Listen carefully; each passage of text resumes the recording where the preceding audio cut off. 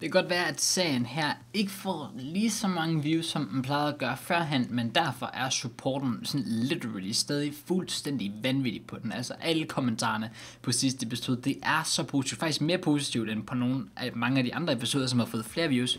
Fuldstændig vanvittigt at se, så tusind tak for det først og fremmest. Jeg er nødt til at indrømme her, at jeg har sgu fucket lidt op med den her serie her, fordi jeg tror, jeg har undervurderet, hvor mange episoder det ville komme til at tage, og hvor, altså, hvor lidt tid jeg faktisk havde op til FIFA 20, fordi vi står i en situation lige nu, hvor vi er sådan, ja, vi i hvert fald, vi kommer ind i det i januar nu her, efter vi lige har spillet den her kamp mod Palace, og så har vi stadigvæk, ja, fem måneders kampe, inden at sæsonen faktisk er helt slut. Så derfor er det sådan lidt, well, jeg er nok nødt til at få den afsluttet inden for meget få dage, og det er lidt ærgerligt, at det skal afslutte sådan selvfølgelig, fordi det har været en utrolig rejse indtil videre, men øh, altså jeg er jo også nødt til at at komme videre. Jeg kunne ikke sidde og lave den her sæson, altså jeg kan ikke sidde og lave den her serie inden i oktober og afslutte den der, bare fordi at, well, jeg skulle spille alle kampene. Så det jeg tror, jeg er nødt til at gøre. Jeg er ked af det, men på den anden side, altså det er også for seriens bedste skyld, fordi hvis jeg skulle gøre det anderledes, så ville jeg ikke nå at afslutte serien før FIFA 20, og det ville være, det ville være utrolig synd. Så det jeg kommer til at gøre, det er, at jeg kommer til at simulere rigtig, rigtig mange kampe nu. Vi snakker rigtig mange kampe, fordi den her serie skal faktisk gerne afsluttes på de næste hvert fald en 2-3 episoder. På den anden side, så kan I se frem til rigtig mange lækre episoder med kongerne i Premier League i FIFA 20. Vi starter ud med at have en kamp her mod Crystal Palace på udbane, og altså jeg kigger på holdet her. Øhm, jeg tror, det jeg kommer til at gøre, jeg ved ikke rigtig, om jeg skal sidde og vise jer holdet hver eneste gang, jeg går ind i en kamp, men i hvert fald måske bare lige sådan nogenlunde, hvad jeg gør. Jeg, jeg vil ønske, at jeg kunne give Giroud spilletid, og jeg, jeg ved ikke, om jeg har lyst til at gøre det måske, fordi det er faktisk hans sidste kamp for os. Og altså, to be honest, både Werner og Higuain er rimelig smadret, så, så hvorfor ikke prøve det? Øhm, og så kører vi måske lige en Rush Barkley ind også i stedet for her.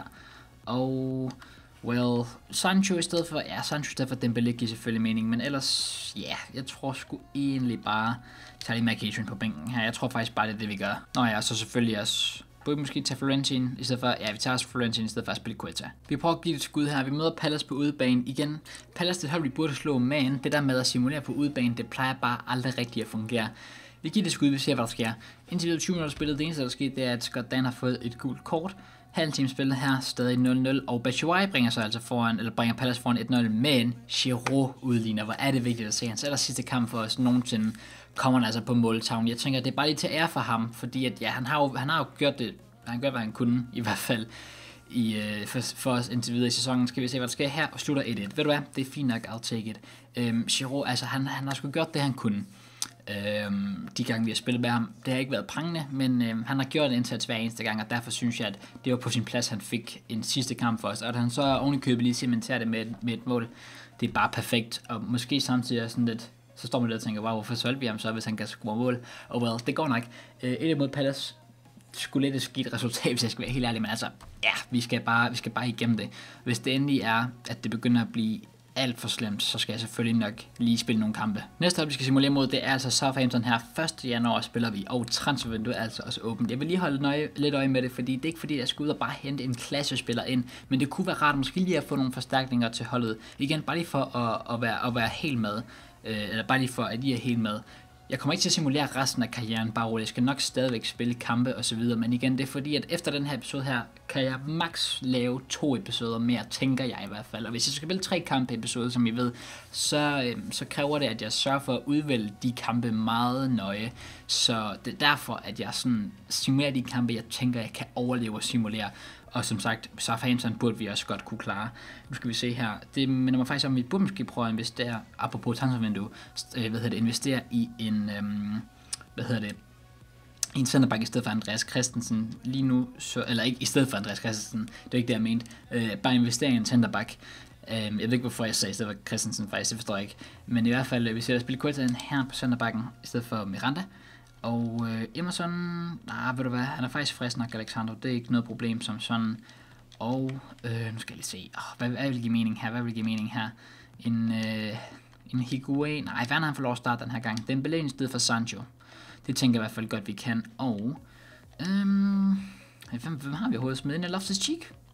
Ja, yeah, det er det, vi gør. Hop ud i det her. Man kan faktisk se, at nogle af deres, wow, deres seneste resultater har faktisk været fornuftige, inklusive en 1-1 mod Manchester City. Okay, et minut spiller Andreas Christensen rødt kort. Nice. okay, øh, det var en forfærdelig start. Faktisk en virkelig, virkelig, virkelig forfærdelig start. Guldkort til Jannik Vestergaard også. Det er bare danskerne, der går til den her, den her kamp. Hold da op. Stadig 0-0 efter 50 minutter spillet. Come on, man. Jorginho kommer ind i stedet for Barkley. Ah, uh, 70 minutter spillet her. Boys, kan vi lige score et mål måske? Gilmore i stedet for Hazard. Higuain scorer til 1-0 efter 80 min. Og det holder også det resultat. Puha. Jeg var lige ved at tro, at vi ikke kunne slå Southampton på hjemmebane, selvom vi simulerede Higuain indskifteren altså simpelthen. Han kom ind i stedet for, øh, det så jeg så længere, han kom ind i stedet for, eller i stedet for Dembélé faktisk, lige når Gilmore kom ind i stedet for Hazard. Okay, fint. Godt at se, Higuain kommer på måltavlen igen. Øhm, 1-0 er en, altså en sejr en sejr hedder det. Så er det fint. Vi fortsætter her. Vi har en kamp mod Fleetwood Town i Øh, eller jeg ved ikke, om det hedder Fleetwood Town. Det må jeg sige Fleetwood Town. Det, ikke, det lød bare rigtigt. Det, jeg ved ikke, om det er det, det hedder. I hvert fald Fleetwood skal vi spille mod i øh, FA Cup'en runde 3. Første FA Cup vi skal spille faktisk. Og øhm, ja, altså der er jo en selvfølgelig obvious ting at gøre, det er at få Christensen ud af, startup elveren. Øhm, og hvis vi så... Altså jeg vil gerne selvfølgelig prøve at spille med lidt ungdomsspillere, men det skal heller ikke bare være sådan, at altså, at vi ender med at, at ryge helt ud af turneringen selvfølgelig. Caballero skal selvfølgelig starte inden, det er klart. Øh, men ellers sådan, ja, det ved jeg sgu ikke lige helt. Altså Sancho kan selvfølgelig få lov til at starte inden. Øh, og så nok en... Lad os, hvis vi nu gør sådan her for eksempel. Øh, så tager vi, vi tager Higuain med på bænken i hvert fald, men vi starter faktisk med Taylor Crossdale inde. Og så kører vi i stedet for Barkley på midten, så får øh, Scott lov til at starte, og så har vi i hvert fald McGeechan på bænken, og så, altså, det, det, jeg, jeg tror bare, det er det, vi prøver. Vi kører her, starter altså på udbane igen. Jeg, jeg var ikke helt med på, ja, så vidt jeg kunne se, så var det altså to kampe, vi skulle spille mod den åbenbart, både en ude- og hjemmebanekamp. Øh, det kan godt være, det er mig, der kiggede forkert, men altså, jeg kan ikke huske, om det er sådan i FA Cup'en faktisk. Whatever. I hvert fald, vi kører her. Florence allerede øh, guldkort, og Wallace guldkort også.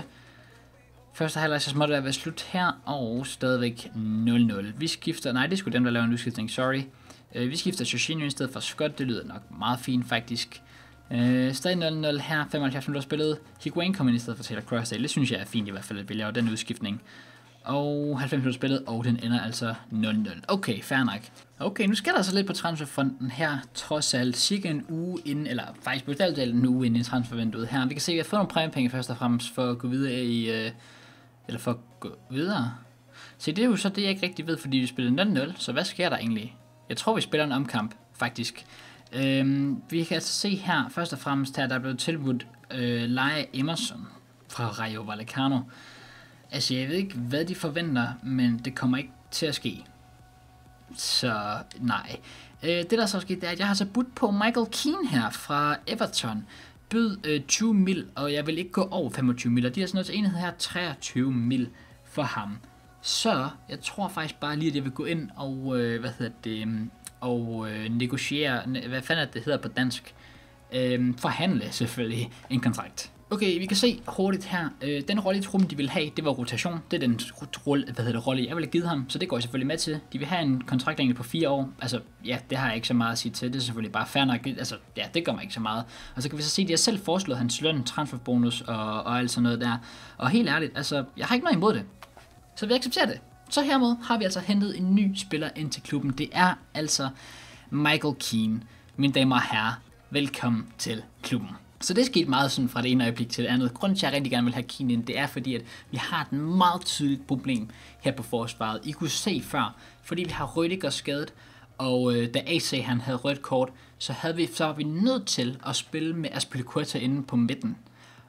Og selvom vi så gjorde det, så selvom vi brugte vores absolut sidste, altså hvad kan man sige, sådan absolut sidste plan B, vi havde, sådan plan Z, så efter vi havde gjort det, så havde vi ikke en eneste, for, altså en eneste centerback på, øh, hvad hedder det, på bænken, som vi kunne skifte ind, hvis det endelig var. Derfor var jeg, synes jeg, det var en kæmpe nødvendighed, at vi signede en eller anden forsvarsspiller, og jeg kiggede bare lidt på, hvad der var og så videre, og tænkte, hvad kunne jeg få til sådan okay billige penge, jeg kunne få ind, altså jeg kunne passe ind med mit budget, og det var altså, øhm, det var altså, øhm, hvad hedder det, Keen, det faldt på, så, så det er rigtig fint. Øhm, han er 80 rated, og altså, ja, han er jo altså, fin, fin spiller, slet ikke noget der, ikke fordi han bare sådan er en, altså, han kommer jo ikke til at gå ind på første hold eller noget som helst, men øh, han bliver en rigtig god rotationsspiller, og det var altså sådan set det, jeg ville have ud af det. Så for mig er det helt fint. Så hvis vi nu lige gør, skal lige se her, vi har så Stoke i næste kamp, skulle lige være sikker på, at det var, Øhm, og det var så Carabao Cup'en. Jeg tror, det var derfor, at jeg troede, at vi skulle spille to kampe mod Fleetwood Town. Eller igen bare Fleetwood. Jeg, for, for, fuck kalder det Fleetwood Town? Whatever. Fleetwood. Grunden til, at jeg troede, at vi havde to kampe mod dem, det er så fordi, at der har stået en Carabao Cup kamp lige ved siden af. Som der så, ja, som jeg, så derfor har jeg troet, at, at de to var sammen, og det var mod det samme hold, men det var så hver sin kamp, det var hver sin turnering, kan man sige. Det er derfor, vi skal altså møde dem, og det er så i semifinalen også. Så øh, hvis lige det for sat en holdopstilling her, nu skal vi se. Øhm, Emerson selvfølgelig ind igen.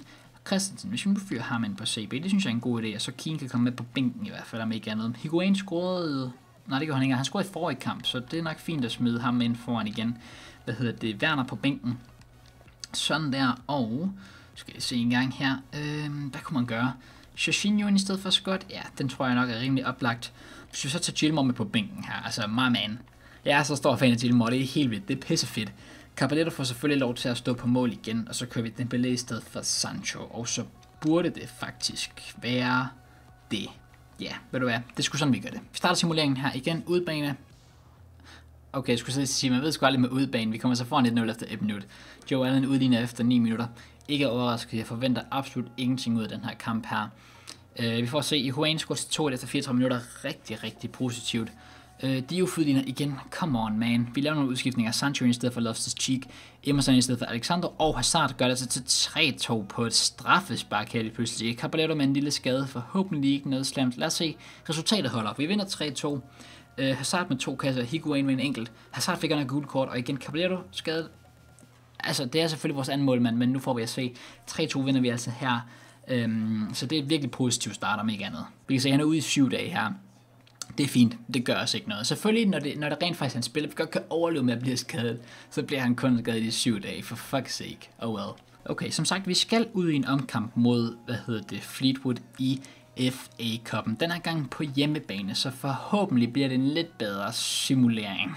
nu får vi at se i hvert fald. Vi skal stille en holdopstilling her, og wow, vi har haft sindssygt meget pause, så alle spillere er bare fuldstændig tip-top, fresh, ready to go, så det er pisse lækkert at se. Øhm, I hvert fald, ja, Caballero er tilbage igen, heldigvis fra sin skade. Han kunne nå, altså, det viser bare, hvor lang pause vi havde. Han kunne nå at komme tilbage fra sin skade igen.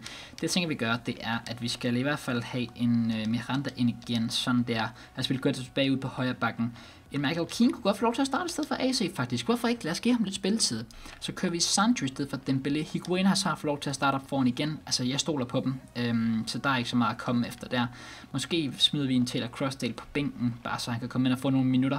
Og øh, hvis vi så kører i stedet for Loftus Cheek og Shoshino på midtbanen, så kører vi Barkley og øh, Gilmore. Jeg tror godt, at det kunne fungere. Så vi hopper ind i det her. Please, drenge, skuff mig nu ikke. Det er fucking Fleetwood det her. Altså to minutter spillet, Ross Barkley til 1-0.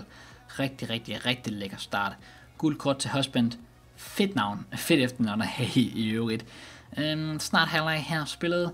5 minutter officielt er gået. Vi skifter Jorginho i stedet for Wallace, Wallace eller i stedet for Gilmore hedder det. Det synes jeg sådan set er fint nok. Og så skifter vi Dembélé i stedet for Sancho lige efter, at Aspilicueta har gjort det til 2-0. Kanskje gør det til 3-0 her. Øhm, og det er også sådan, kampen ender fint. Perfekt. Ikke så meget at komme efter der. Vi vinder sikkert over et hold, vi skal slå. Kommer det forskellige målscore på tavlen. Får spillet noget, noget ungdom her og der. Lidt ærgerligt, at Taylor Cross det ikke bliver skiftet ind, men sådan er det igen. Jeg kunne måske bare have sat den til det. Jeg har hørt, at det skulle man kunne gøre. Det ved jeg ikke hvordan. Whatever. Vi vinder 3-0. Det er det, der tæller. Oh my god. Yes. Get in. Antonio Rüdiger, mine damer og herrer, han er tilbage fra sin skade. Det er fucking lækkert. Så nu går der forhåbentlig ikke så lang tid, så vi begynder at få ham med i hardopstillingen igen også. Nu begynder det altså lige noget igen. Vi kører videre her, vi har en hjemmekamp mod Stoke i, Car- i Carabao Cup'en. Det er altså en om, eller nej, det er ikke omkamp, undskyld, det er, øh, hvad hedder det, sådan, hvad kan man sige, den, den, det er altså second leg, øh, fordi vi vandt den første 3-2, og så skal vi spille en kamp på hjemmebane også nu selvfølgelig, fordi ja, den første var på udebane. Så øhm, holdopstillingen, puh, ja, hvad gør vi her? Øhm, jeg, jeg fik en mail fra Rüdiger, der sagde, at han var klar til at spille. Jeg synes, at det er forkert at sætte ham ind nu. Det vil ikke være ansvarligt, så det lader vi altså være med.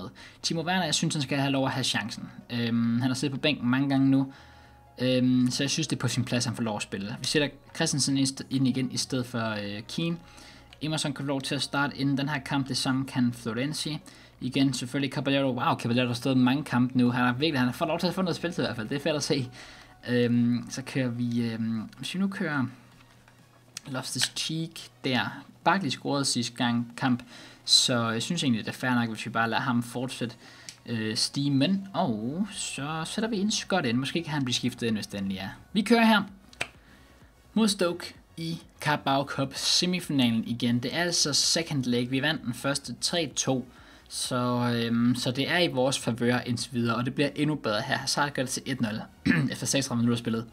Rigtig, rigtig, rigtig lækkert. Dembélé kommer ind i stedet for Sancho.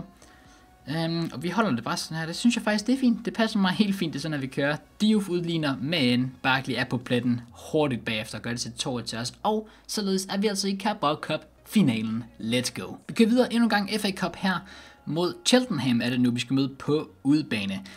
Yes, vi kører altså. Øh, lad os se her. Øh, hvem fanden var det, der scorede for sidste? Det var, det var Barkley, der scorede i hvert fald det ene af målene. Og så... Øhm, fanden var det, der scorede til 1-0? Det var Hazard. Okay. Øhm, jeg tror, vi starter Keane først og fremmest. Igen kan du at spille en kamp, man. Hold da kæft, den mand, han lever livet lige nu. Jeg sværger, mand. At spille Quetta tilbage på højre bakken, synes jeg, det har jeg det mest øh, fint med. Øh, Emerson, øh, eller hvad hedder det, Alexander altså, jeg ved godt, det er Cheltenham, men altså, det er så også på udbanen, så det er derfor, jeg er sådan lidt, ah, jeg ved sgu ikke det helt. øhm, det jeg tænker, vi gør, det er, hvis vi fyrer en Dembélé op endnu en gang på højre wing, øh, Jorginho i stedet for Loftus Cheek, bliver bare ved med at, at køre lidt imellem de to der, det passer mig sådan set helt fint.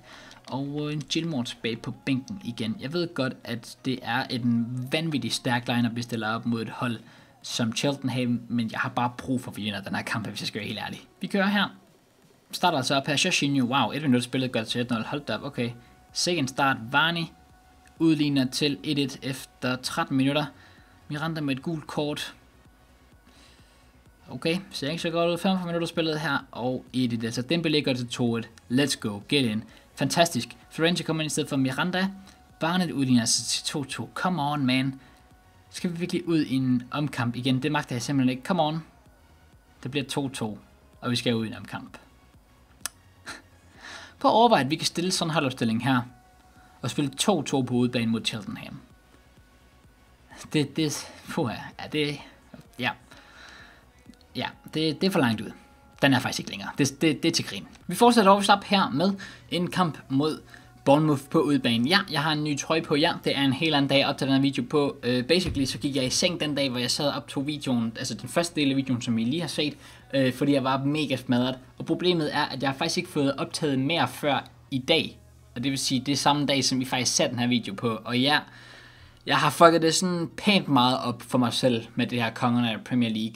Øh, der er ikke så meget at gøre ved det. Vi må bare igennem det så hurtigt vi kan. Og øh, så kan man sige, at FIFA 20 er lige rundt om hjørnet, og der kommer vi jo til at starte Kongerne Premier League op igen. Og der skal jeg nok have rigelig tid til rent faktisk at færdiggøre serien på en ordentlig måde. Whatever. Øh, sådan er det, desværre. Lidt ærgerligt, det skal afslutte sådan, men altså, hey, jeg har, det er min egen skyld, så sådan er det. Vi skal sætte en opstilling i hvert fald til øh, næste kamp, som vi har mod Bournemouth, og spørgsmålet er, om, øhm, hvis vi nu lige skifter AC i stedet for Miranda, for han er rimelig træt, og så kører vi Loftus Cheek i stedet for Barkley. Og ja, det burde det kunne gøre det. Det burde kunne gøre det. Det er det, vi gør. Så jeg hopper ind og simulere her. Øhm, ja, altså igen, udbane. Jeg, to, jeg, jeg tvivler meget stærkt på os, men altså, vi har så godt et forspring til City lige nu, at jeg føler godt, at vi kan, vi kan overleve, hvis det endelig skulle gå galt. Har svaret godt til på straffe efter et kvarters tid spillet her, og vi går så stille og roligt ind til halvlejen med en 1-0-føring. Perfekt fin start so far. Jeg er sådan set ligeglad, hvad resultatet bliver, bare vi vinder. Det er sådan set det, der tæller for mig. Stadigvæk 70 minutter spillet, der er ikke sket noget som helst, hverken mål eller udskiftninger, eller okay, den endte simpelthen 1-0. Okay, fair nok. Næste kamp her har vi Huddersfield på hjemmebane. Det her, det burde, det burde være tre sikre, så har jeg ikke sagt for meget i hvert fald. Det var en Nazar, der gjorde 1-0 for os på et straffespark sidste kamp. Men startede vi med, startede vi med Caballero inden? I sidste... Hej, okay, der kommer min kat, så når vi snakker. øhm, startede vi med Caballero i sidste kamp, det er ikke engang til. Ups. Øhm, det er keeper, vi skal have ind, selvfølgelig. Øhm, har holdet sådan forholdsvis, jeg vil faktisk sige, at vi, altså, rimelig god øh, energi all around, så hvis vi nu tager Miranda ind i stedet for Keane, og, øhm, oh, Rüdiger, han er, oh, my man, my man Rüdiger tilbage igen, let's fucking go. Okay, lad os se, øhm, hvis vi lige sætter det sådan der op. Okay, Hvis vi nu, jeg vil gerne have, have Sancho til at spille lidt igen, også fordi det er trods alt, som sagt, bare mod, øh, hvad hedder det, Huddersfield, også på hjemmebane over det købet. Hvis vi nu Barkley, han får lov til at starte, og så tager vi også en Gilmore, my man. Øhm, Higuain får start op foran igen, og vi sætter altså Florentin ind på højre bakken. Så et, rimelig mange udskiftninger i forhold til sidste kamp. Vi går i gang med simuleringen her allerede. Wow, okay, 1-0 til os.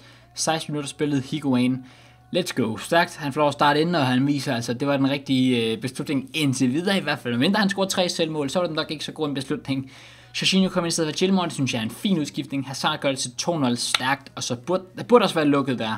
Lad os nu se, Sancho får en lille skade. Åh oh, nej, det er ikke godt, det er ikke godt. Okay, vinder 2-0, fint resultat, ikke noget kom så der holder clean sheetet, får givet noget spilletid til de yngre spillere, og får altså vores to angriber, to vores angriber på, øh, på måltavlen også. Lad os se, hvor lang tid han er ude med. Kun syv dage, Louise. Okay, fint. Det kan vi godt overleve med. Vi kan videre. Næste kamp har vi mod Cheltenham her på hjemmebane. Vi skal have sat en halvstilling. Øhm, Sancho er selvfølgelig skadet. Det er ærgerligt. Der er vi nødt til at sætte en Dembélé ind i stedet for. Og... Øhm, well, ja, han kan jo ikke engang være på bænken rigtigt. Så hvis vi nu smider... Lad os se. Hvis vi tager Magitran her. Og kører Rüdiger ind igen. Han er klar igen. Det er simpelthen så fantastisk at se. Øh, Aspilicueta tilbage på højre bakken, og måske... Nej, ved du hvad? Eller, er vi, det er jo trods alt bare Cheltenham. Så hvis vi nu i stedet for siger Emerson her, Keane kan komme på bænken, McEachran kan få lov til at starte i stedet for Gilmore. Øhm, vi kører en Jorginho, og så i stedet for Jorginho på, på hvad hedder det, bænken, kan vi køre en Scott. Måske kan han blive skiftet ind, altså igen, det ved jeg ikke, det kan jeg ikke rigtig, det kan jeg åbenbart bare godt styre, men det har jeg ikke rigtig noget, øh, det har jeg ikke styr på, hvordan man gør det. Øhm, spørgsmålet er, om man skulle køre, fordi Higuain scorede selvfølgelig sidste kamp. Skulle man sætte Taylor Crossdale ind op foran? Det kunne altså være lidt sjovt. Vi, vi prøver det. Vi lige ud her, lad os se, hvad der sker. Okay, et minut spillet, kan til 1-0. Fair enough. Godt så. Øhm, så det var en god start. 30 minutter spillet her, Miranda med, rødt, eller med gul kort på her, og så øh, Emerson til 2-0 stærkt. Rigtig fin første halvleg indtil videre. Dembélé gør altså til 3-0. Det er lækkert at se. Vi laver nogle udskiftninger her. Florenzi kommer i stedet for Miranda. Werner i stedet for Taylor Crossdale. Dembélé med to kasser simpelthen. Vi kommer på 4-0. Skal vi lige have en sidste at gå hjem på? Loftus-Cheek kommer i stedet for McEachin. Det skal jeg ikke mere. Ved 4-0. Sten hammerne sikkert. Vi kører videre. Vi har en kamp mod Manchester City på udebane her. 10. februar 2019. Den her kamp her. Den, altså man kan se ned på holderstillingen, eller ned på, på øh, uh, ligastillingen. Vi har 58 point. Det vil sige, at vi er 6 point foran City med tre, hele tre kampe. Den, nej, den der foran Liverpool.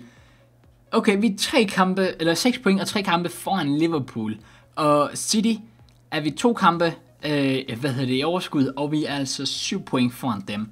Så det vil sige, at med en sejr her, så kan vi næsten cementere os fuldstændig i toppen af Premier League.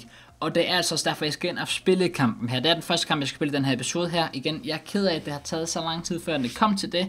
Men det er altså blevet tid til det nu. Yes, jeg kom så til at fuck op. Jeg skulle ind og sætte en holdopstilling. Og da jeg så går ind, der hvor man skal vælge at gå hen på holdopstillingen, kommer jeg til at trykke kryds på spilkamp. Så min holdopstilling ser sådan her ud. Det var sådan, vi stillede op mod Cheltenham også. Så... Well, Altså, jeg tror, vi er nødt til at bruge vores tre udskiftninger med det samme. Så det keeper på mål. Ja. Øhm, vi kan ikke gå ind med, for fuck's sake. I fucked up. Vi starter med Magitran og alt muligt. Okay, vi sætter, vi sætter Loftus ind i stedet for Magitran. Og Werner ind i stedet for Taylor Crossdale.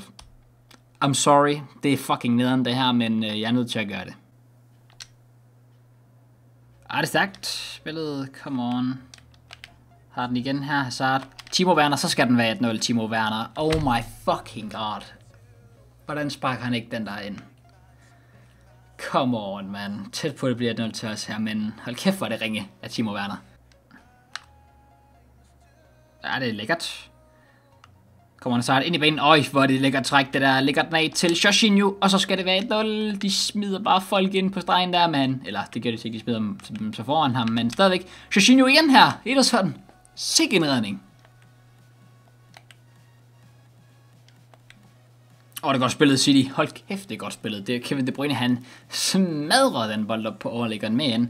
Får altså ikke scoret. Bliver til halvleg her. 0-0 står den. Chancer i begge ender. Ikke så meget at komme efter der. Det er så her, jeg vil sidde normalt og sige, Nå, hvad skal vi lave udskiftninger? Men øhm, det kan jeg ikke rigtigt. Så vi fortsætter bare. Stærkt spillet Loftus Cheek. Hvorfor ikke? Hvorfor ikke Loftus Cheek? Er du gal en afslutning, han fyrer afsted der, mand. Dengang er det os, der rammer træværket, men igen ikke noget held. Det er godt spillet City her.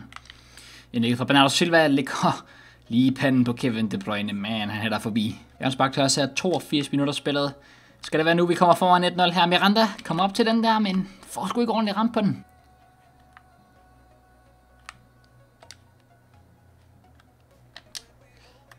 Ej, det er godt spillet. Sidste angreb fra vores side af her. Dembélé indlægget frem mod Eden Hazard. Skal vi gøre det til 1-0 i aller sidste sekund i kampen? Vi gør det. Sikke en afslutning på kampen. Let's fucking go. Ligger den ind over her. Jeg, jeg får bolden der, hvor der er spillet, der er spillet 90 minutter. Tillægstiden bliver lige lagt til. Har bolden med Kepa. Jeg tænker, hvad du er? Vi prøver at sætte et aller sidste angreb ind, og den her gang giver det altså på det. Indlægget ligger perfekt til den, altså han skal bare lige have foden på, og man må så også give ham credit for afslutningen.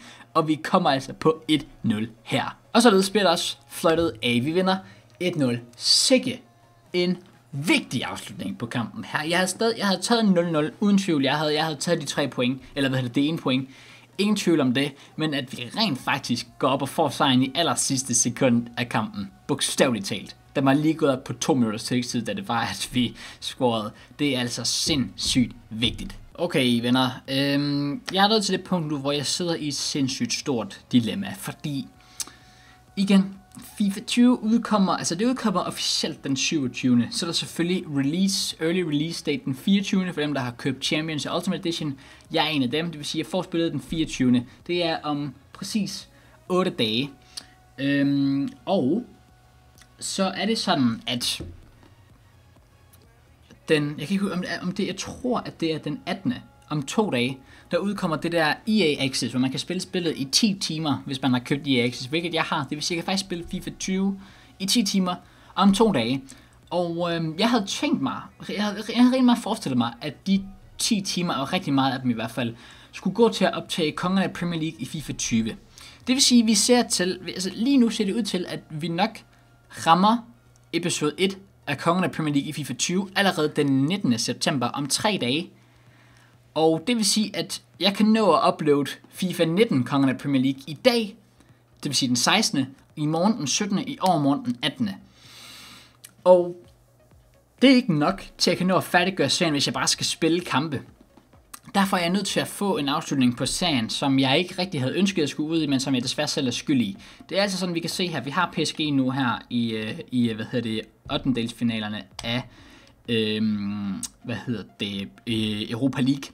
Vi har dem gange to, så har vi, øh, hvad hedder det, også øh, FA Cup'en, Manchester City åndedelsfinalen. Vi har Spurs her, så kører vi videre her. Vi har Spurs i Community Shield finalen, og en masse, en helvedes masse Premier League kampe her.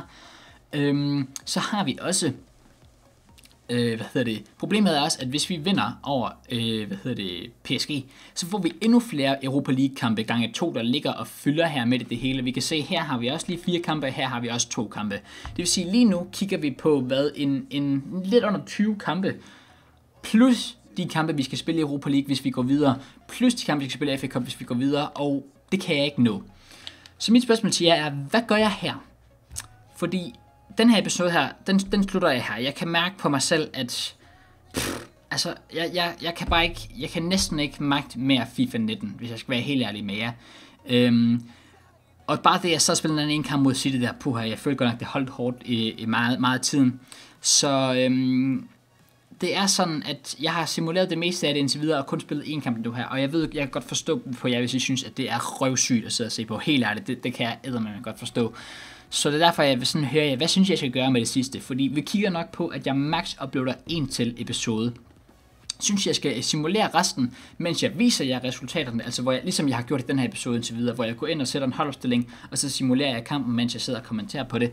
Eller synes I, jeg skal gøre noget andet, måske bare stimulere kampene kun, ikke at vise holdopstilling, men bare simulere hele tiden, så I kan bare kan se resultaterne. Eller skal jeg bare simulere resten af lortet, uden at de ser det, og så når jeg så har simuleret det helt færdigt, så går jeg over resultaterne bagefter, og så ligesom laver en afslutning på serien. Jeg håber, I ved, hvad jeg mener. Lad mig høre, hvad I synes om det nede i kommentarfeltet i hvert fald. Igen, jeg er, jeg er sådan helt ærlig, jeg er fucking ked af, at det er sådan her, serien skal slutte. Øhm, jeg startede den tilbage i juli, øhm, og det er nu to måneder siden, og på to måneder burde man godt kunne afslutte en, øhm, eller gennemføre en sæson i en øh, karriere. Øhm, problemet var igen, at øh, det var lige oven i min flytning, så der var rigtig mange dage, hvor jeg ikke rigtig havde den tid, jeg ville ønske, jeg havde, selvom jeg følte, jeg var sådan okay consistent med den på et tidspunkt i hvert fald. Men stadigvæk, det var sådan, vi, vi, vi kiggede på måske en, max to episoder om ugen, var det i rigtig lang tid. Og nu endelig her, hvor jeg er sådan okay færdig med flytningen, så har der været andre ting som skole og så videre, og så bare generelt, at jeg faktisk ikke har haft mega særlig meget lyst til at spille FIFA 19, fordi ja, det er sådan ved at dø efterhånden. Så derfor er det, at jeg ikke rigtig har oplevet så consistent, som jeg ville ønske. Og det er derfor, at jeg faktisk er mega hype på FIFA 20, fordi der har jeg bare, altså der starter jeg serien fra starten af, og der er ikke noget stress, vi skal bare igennem det på en god manér. Og det er derfor, det er så ærgerligt, fordi den her serie har klaret sig virkelig godt i FIFA 19, men jeg er nødt til at afslutte det på sådan en forfærdelig måde. Det er jeg ked af. Whatever, jeg har siddet og snakket i 100 år nu. Øhm, jeg vil gerne igen vide, hvad synes I, jeg skal gøre? Øh, lad mig høre den i kommentaren, og så vil jeg lave en ordentlig afslutning på serien i den, ja, det der så kommer til at blive den sidste episode. Igen, jeg er altså, jeg, jeg, jeg, jeg kan godt forstå, hvis nogen af jer sidder derude og tænker, Krebs, det er fandme skuffende, det er irriterende, det er ærgerligt, det er kedeligt osv. Jeg kan 100% godt forstå jer. Jeg er så ked af, at det er sådan, at det skulle ske. Igen, jeg håber virkelig, I forstår, at det er ikke bare mig, der sidder og pisser med serien. Det er mig, der har haft andre ting, der har forhindret mig i at uploade den consistent, og derfor så har jeg ikke kunnet nå at færdiggøre sagen. Hvis jeg havde en måned, hvis der nu var en hel måned til FIFA 20 kom, jamen så var det ikke noget problem for mig at færdiggøre sagen ordentligt, fordi så ville jeg have nok dage til at kunne uploade. Men det er bare mig selv, der har fucket det op, fordi jeg har ikke været consistent nok med det. Der er andre, igen, der er andre ting, der er fyldt, sådan er det. Så ja, I'm sorry. Anyways, guys, tusind tak fordi alle sammen alle sammen. Hvis I har nyt videoen, så glem endelig at gå ned og smid et like på videoen. Subscribe, hvis I vil se mere. Og vi ses.